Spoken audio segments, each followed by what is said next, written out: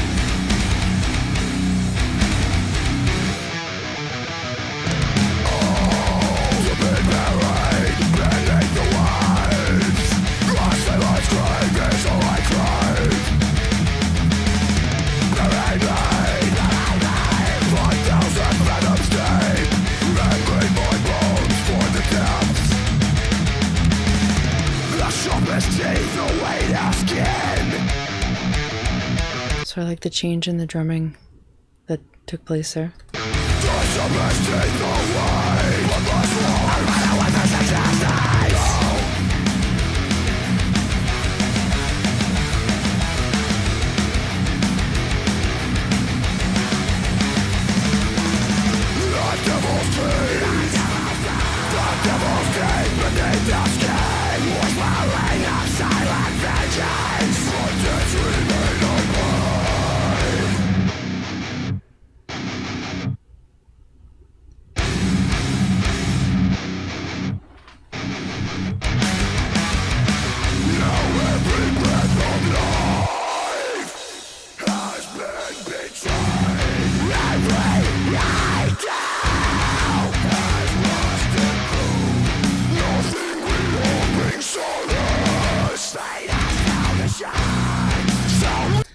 Pretty terrified of sharks, so that idea doesn't sound very good. Even though there's none where I live.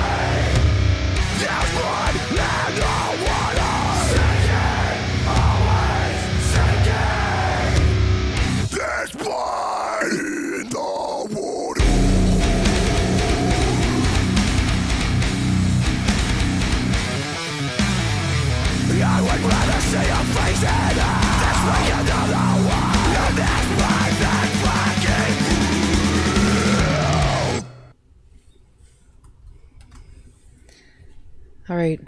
So what are my thoughts? So I have yet to hear any clean vocals from this singer. And I mean, I think he did some good screaming, growling types of vocals. So I'm going to put his voice at a 7. And the music was a little bit uh, breakdown, what are they called? Breakdowns? Heavy at times. So I think I'm going to put it at a 7. Um, I did enjoy it overall.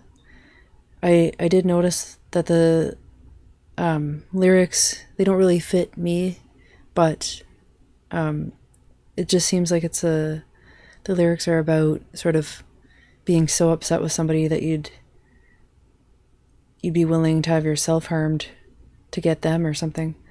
Um, it seems like just holding on to um, vengeance and um, just not forgiving and that kind of thing. And I don't know. For me, I'm a pretty forgiving person, and I don't I don't say that in a cocky way because I know some people have a very hard time forgiving. But yeah, I've had people tell me I should do this or that because of some things that have happened to me. But for me, I don't like to hold on to, I don't know, all the negativity and anger that can build up when you hold things against people. So